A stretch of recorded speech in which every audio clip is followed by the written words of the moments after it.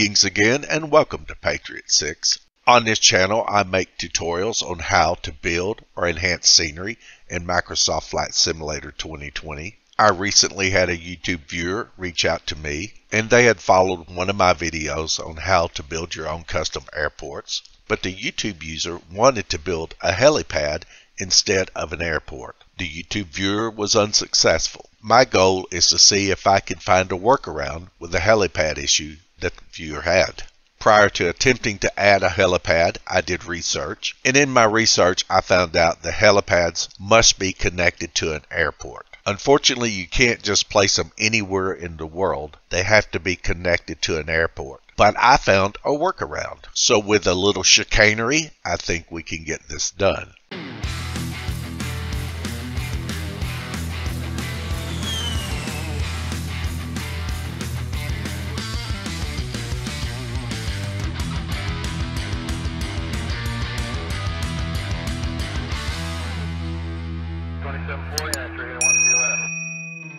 I did run a test. The test worked okay, but I ran into a problem. This is a picture of the test I ran prior to starting to make this video. And as you can see, I got the helipad added, but you may notice some dark marks here. So when I started looking, I was confused. Why are these dark marks here. And then it occurred to me that the dark marks are there because I have a mod that enhances airports. This mod adds more rubber on the runway to make the airports look used. Unfortunately, the mod kicked in and put dark marks here near my helipad. Basically, this is going to be an experiment I'm going to try something to see if I can get rid of the marks. So as I build the helipad, I'm going to experiment and see if I can get rid of these marks that are placed by the airport enhancement mod. So to get started, we want to go in developers mode, and that is options,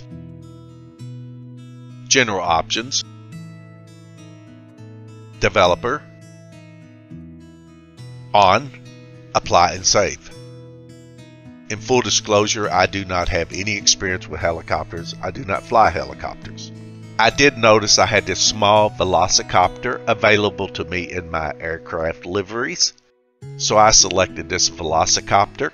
This should be good enough to do the work. And now I'm going to find an airport near my location that I'm going to add the helipad. KMQY Smyrna is a good place to be, so I'm going to pick a parking spot for my Velocicopter, and I'm going to fly.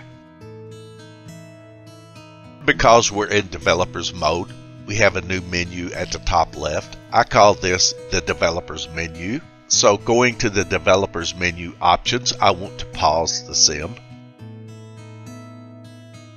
And I'm going to hit fly. I'm going back up to the developer menu, camera, and developer camera. One thing I failed to mention is I recommend that you have clear skies and roughly midday. So I have clear skies and I'll move the time to roughly midday. And setting to midday, just make sure that you have enough daylight to do the work you want to do. And with the developer camera on, I'm now going to zip over to the location in which I'm going to build the helipad. I'm at TriStar Medical Center outside of Nashville, Tennessee. And as you can see in real life, there is a helipad. So I'm going to place a helipad here that hopefully we can use. To start off, I'm going up to the developer menu, tick on Tools, Project Editor, and open and now the project editor is open. You will also notice that I have an inspector up and we need the inspector up. If your inspector does not come up, you can go down to the project editor, tick on view, and bring the inspector up. So the first step we want to do is start our project. So on the project editor, I want to hit project, new project, and this little box will come up which I want to put a name in. The path up here is pointing to my temporary folder. You should always have a temporary folder on your desktop to add scenery. So if you don't have one, I would build one at this time. And then make sure the path is pointing to that folder. I'm going to give the project a name. This is simply giving the scenery folder a name. named it TriStar Medical Helipad. The hyphens will automatically be placed in where you have spaces. So because I had TriStar Space Medical, it put a hyphen in, and that's fine. So now I want to create the project, and our wizard comes up. I want to create an airport. I'm going to give the airport a display title, TriStar Medical Helipad, and I'm going to tick Next. And then the airport creation window comes up, and it asks if you want to override an existing airport, and it is pointing me to KMQY in Smyrna, the airport in which I parked my helicopter, and I do not want to override KMQY, so I'm going to tick Create an Airport Anywhere. And I'm going to tick Generate New ICAO. So the new airport code has been generated, and now I'm going to tick Create Airport. After ticking Create Airport, you will notice in the inspector that the information is there TriStar Medical Helipad, and my creator name is in there because I have it set as a default. You can enter your creator name now, whatever you want to call yourself. And now I'm going down to the thumbnail and I'm going to add my thumbnail. You do need a thumbnail. And here is my thumbnail. By the way, it clearly states here that a 412 by 170 pixels is the mandatory size for a thumbnail. So make sure your thumbnail is 412 by 170 pixels. And with the thumbnail in place, the names, and all the information in the inspector, I'm going to build package. The dialog box will pop up saying modifications detected, and of course, I'm going to tick yes. And wait a few seconds until the package builds, and it built that quickly. At this point in time, I'm going back up to the developer menu, window, remove the console. And now I'm going over to the project editor my project is highlighted. I want to tick on my project. I want to reveal Scenery BGL. I want to tick on Scenery BGL. And you notice the inspector changed. So I want to go to the inspector and tick Load in Editor. Now once I tick Load in Editor, several windows pop up. If this is your first time, they may not pop up for you material editor I will use, but I'm going to temporarily move it out of the way. I have the objects window, the gizmo window, and the scenery editor. Once you choose load in editor, I do know the scenery editor will pop up. I'm not sure about the other two windows because I've been doing this a long time. But if the gizmo and the objects window do not pop up, you can go to the scenery editor, view, tick on Objects, and tick on Gizmo. Now in the Objects window, I'm going up to Object Type, which is presently set on Scenery. I'm going to tick on it and go down and find Helipad. And here's Helipad. So I want to select Helipad. I want to tick on Medical because this is a medical helipad and I'm going to tick on add. And the helipad appears. So on the gizmo, the gizmo gives you three different tools. Transmute, rotate, and scale. Transmute obviously allows you to move your object around.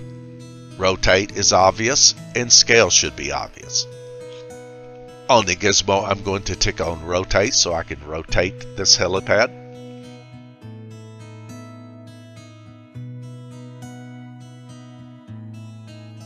I want to get it kind of square. And now I'm going to scale. The helipad is bigger than I want it to be because it comes out in the road and in the parking lot. I'm going to manually type in numbers to get the scale that I'm looking for.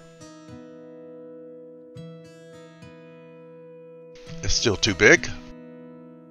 Let's try dot 6.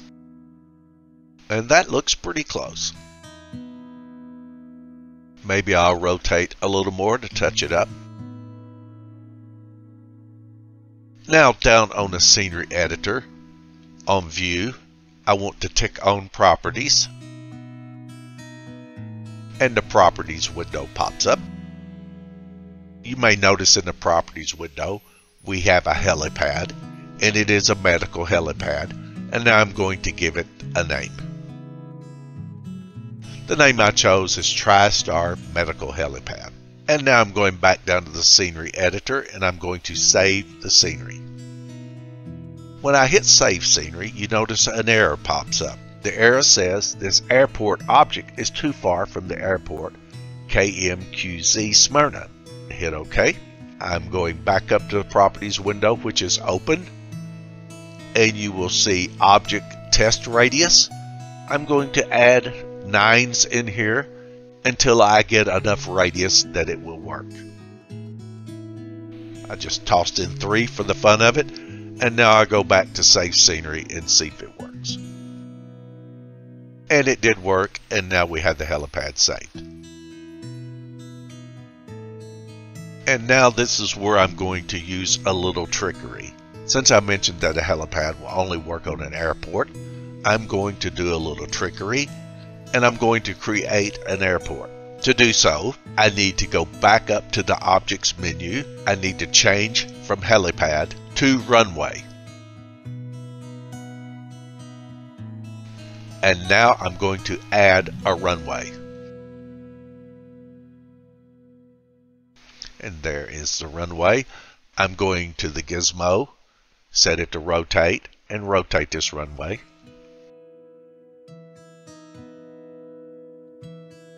And now a little more trickery. I'm going to bring the material editor up. I'm going over to the scenery editor. I'm going to tick on properties. I want to make sure that I'm on the runway down on the scenery editor. The runway is selected. And on the material editor, I'm going down to Asobo runway I'm going to select runway grass. And when I go back to the properties menu, I'm going to tick on materials. And it says runway asphalt. And once I tick on that, it should enter the runway grass that I selected. And it did. So I'll move the material editor out of the way. And now on the properties menu, I have selected grass with the hopes of not having the runway marks, although I see them now. We'll just have to see how this turns out. I'm going to make the runway transparent. So tick on transparent. And now I want to make sure I'm ticked on the runway. And I'm going to size this runway to make it small as possible.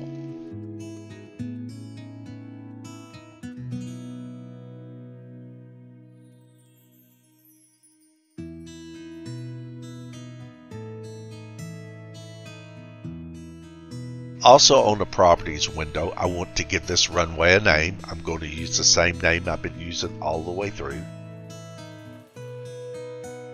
And now I'm going to save the scenery once again. On the properties window, I want to go to runway start. I want to tick on edit position. And when I do, it shows a runway start over here so I want to move the runway start and get it as close to center on the helipad as possible. And that looks fairly centered. At this point I can tick the properties off. I'm going to save the scenery. And now I'm going back up to do one more thing to make this a little easier to spot. I'm going to the Objects window I'm going to tick on landmark location. I'm going to add, and here's the landmark. I want to move it a little bit away from the helipad. Move it over here, say center of the hospital. I'm going back to properties. I'm going to give this landmark a name. I gave it the name TriStar Medical. I'm going to hit Save Scenery again. And now I'm going to remove the Properties window. With everything built and hopefully will work, I'm going back over to the project editor, make sure I'm not on Scenery BGL and tick on the project. And the inspector should light up again, and it does. And now I'm going to build the package. The package is built. I go back up to the developer menu window, tick off the console, and with the scenery saved and the package built, now I could tick off my tools. At this time, I'm going to open my temporary scenery folder. And I'm going to open my community folder. I want to locate my scenery folder in the temporary desktop scenery folder. And here it is, TriStar Medical Helipad. I'm going to open. I'm going to Packages. I'm going to tick on the package and copy. And with my community folder open, I'm going to paste. And now the package is in the community folder. I'm going to completely shut down the simulator and restart so that the simulator picks up the new package I added to the community folder. And now with Microsoft Simulator restarted, I'm going to go to the world map and see if I can find our heliport.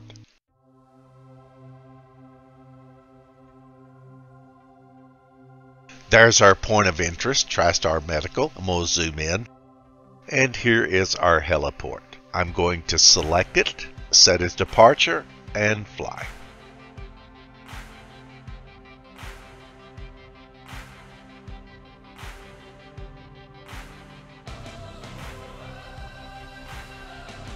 And as you can see, we have a working heliport. I don't see the dark marks, so apparently making the runway grass took care of the dark marks. Now, if I want to be very picky, I can look and say, well, I could have been better centered. But now I think after doing this, I understand the problem. When I set my start position, I set the little center dot right here, and the arrow was about here. It seems like I should put the arrow right here. But outside of that, everything is fine. The heliport works. We can spawn to the heliport, and I'm certain we can fly to it. So this process does work, and you can make a heliport away from an airport by creating your own airport and making the runway transparent. So I believe this project is a success. I hope those of you that want to build heliports got something from this and can use the information in this video. If you have any questions, feel free to leave them in the comments below. There is a link to where you can reach out to me on Facebook if you want. But any problems or any questions you have, feel free to leave and I will get back to you as soon as possible. I'm pretty good at getting back to the comments, but then again, my channel is small. So a day could come when it gets a little harder to manage the comment, but as of now, I can manage those. So again, thank you for watching Patriot 6. I hope you can use this information and please subscribe to the channel. And this is Patriot 6 signing off and I will see you shortly.